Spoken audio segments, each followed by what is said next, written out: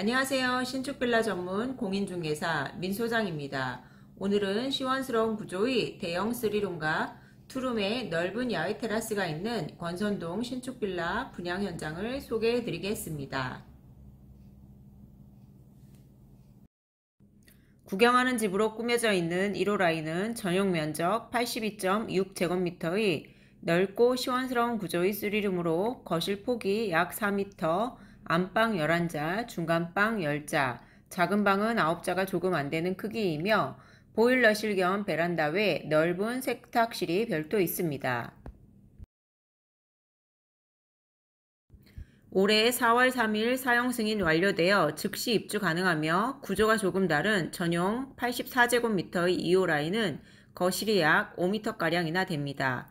권선 6구역이 인접하여 매교역 도보 13분, 버스 정류장은 1분, 세류 3익 현대아파트의 다양한 음식점과 편의시설을 이용하실 수 있으며 권선초등학교 도보 7, 8분, 중앙병원까지는 약 5분 거리입니다.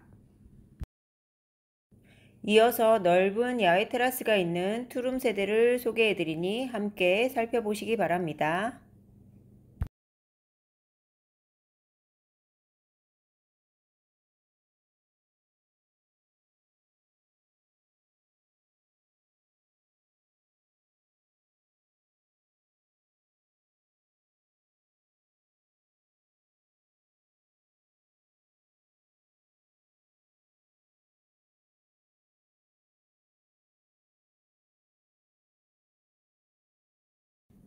투룸 테라스 세대는 4층 1호 라인으로 전용 면적은 53.4제곱미터이며 일자형 넓은 주방에 안방이 12자, 작은 방이 9자, 폭 3m가 넘고 길이가 상당한 야외 테라스가 있습니다.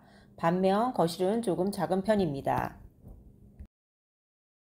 면적 대비 합리적인 분양 가격의 대형 3룸으로 2, 3층은 구조가 동일하며 4, 5층에는 아래층보다 조금 작은 전용 75제곱미터의 3룸 세대가 있고 4층에는 넓은 야외 테라스 세대가 있는 투룸, 5층에는 1인 가구에게 좋을 아담한 투룸이 있습니다.